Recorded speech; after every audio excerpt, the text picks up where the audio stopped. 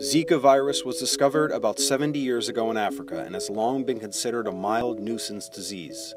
It recently turned up in Brazil and has since spread through Latin America, the Caribbean, and the United States. The virus is mainly spread through the bite of a tropical mosquito called Aedes aegypti that thrives in warmer climates. It can also be further spread through sex by an infected person. Almost all of the US cases of Zika are people who got it while traveling or who had sex with someone who traveled. Most people infected with Zika never experience any symptoms. Those that do suffer relatively minor symptoms including a rash, joint pain, or red eyes. Symptoms usually disappear in less than a week.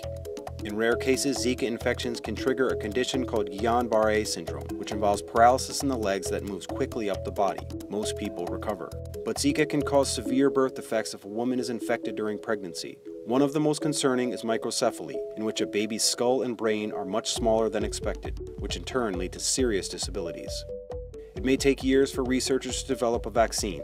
In the meantime, health officials recommend that people in Zika affected areas protect themselves from mosquitoes. They also recommend that pregnant women avoid Zika affected areas if possible.